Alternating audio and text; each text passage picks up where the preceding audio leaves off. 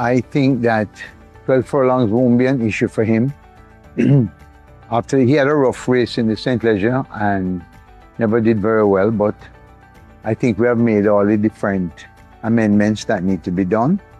And so we look forward to racing in the Derby. For sure, uh, to be able to win the Derby, you have to be one of the best three-year-olds. And I think Mohika is one of the best three-year-olds. So I think we're right, right on target. Yes, Dane Dawkins is going to ride him again. Well, um, she came out of the race good. She's been training excellent, no hiccups um, so far. Um, she's due to get her final gallop tomorrow morning.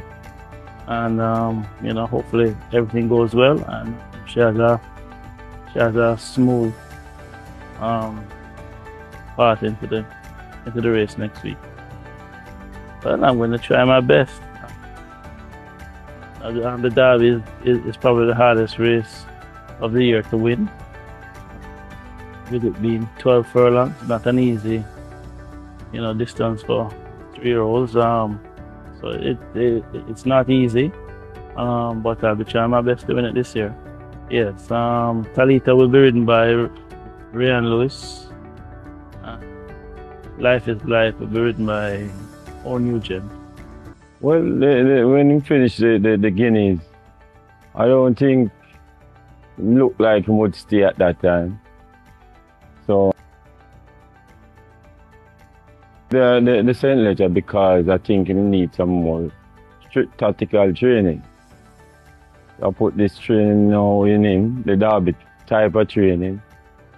You know, not that great, but doing well.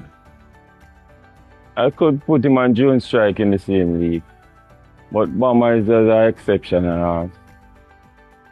Yeah, have speed and pace. This one have speed, but you know, we're trying to get the pace in the stamina into him. So if it work out, maybe we could think about he can be a bomber. But him kind of on the small side. I don't think him develop that much as he. You know, a couple of rounds, but right now just looking into Alan Moran. Because him, I think him have, you know, him, have the experience. So I think I would have to go with the experience. I think it shouldn't be a problem for him. He's always coming on stronger in the end, so I think he'll enjoy the, the journey. Yeah, so far we have Bebito Harvey scheduled to ride.